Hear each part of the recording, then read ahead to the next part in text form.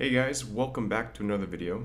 So in this video, I want to show you guys how to model a system or a situation with first order differential equations. So first, let's go over a quick recap of what we've learned so far.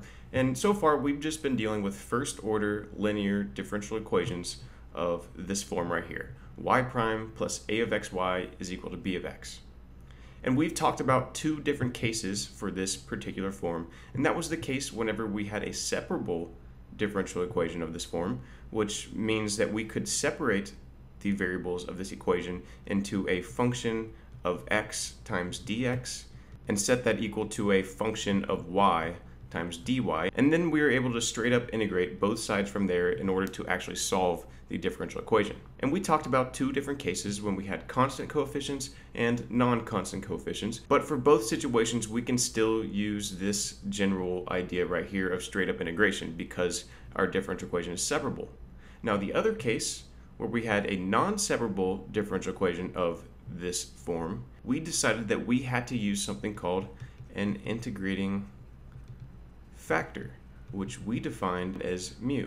So now in this video, what I want to show you guys is an example on how we can use what we've learned so far right here in order to simulate the behavior of a system using these first order differential equations. So we're going to take a look at this example right here, and we're going to model this with differential equations. So we have a tank that is initially filled with 100 gallons of fresh water. Then I start filling up the tank with salt water at a rate of 3 gallons per minute, and this salt water has a concentration of 1 ounce of salt per gallon.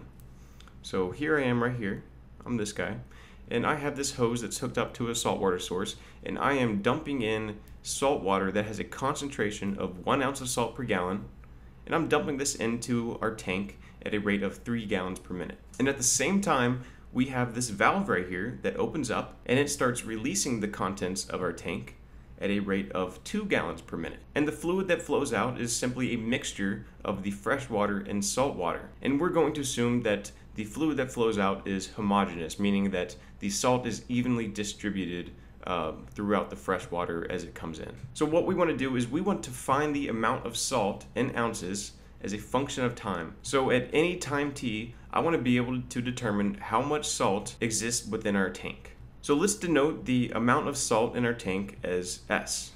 So S is the amount of salt in our tank. And now let's also define some other things that we have learned from reading this paragraph up here. And we know that the initial volume at time equals zero is equal to 100 gallons. And we also know that the salt concentration at time equals zero is zero. So right here, we're just saying that the amount of salt that exists within our tank at the very beginning is equal to zero because it's full of fresh water. So whenever we model something with differential equations, the way that we write our equations is by taking the variable that we are interested in, which in this case is the amount of salt, and then we write an expression for the rate of change of that variable. So basically, we just write an expression for S prime, or the rate of change of our salt. And we know that the rate of change of salt is just equal to the rate of salt coming in minus the rate of salt coming out. So now we just need to fill in for these expressions right here. And we can say that the rate of salt coming in or out is just equal to the flow rate times the concentration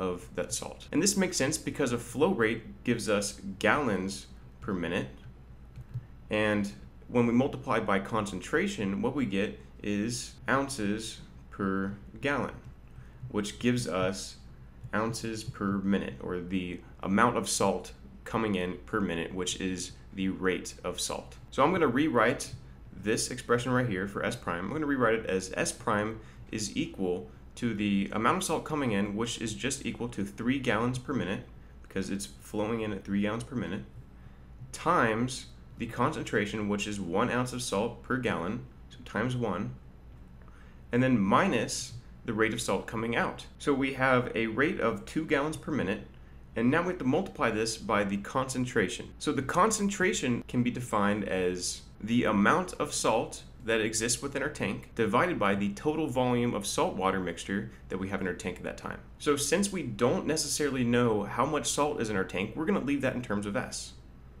So we have S divided by the total volume. But we also know that our volume is going to be changing as a function of time because we have three gallons coming in and we only have two gallons coming out. And that means that every minute we are increasing our capacity by one gallon. So if we start at 100 gallons, every minute we're just adding one gallon. So our volume can be represented by 100 gallons plus T, where T represents the number of minutes that have passed. So the overall concentration of salt given any time T can be represented as the amount of salt S that exists within our tank at that time divided by the volume at that time which is how I got this expression right here for the rate of salt that's flowing out. So this is our differential equation that we are going to use to model our system. And now all we have to do is solve this differential equation, and what we are left with is a solution that tells us how much salt is in our tank at any time t.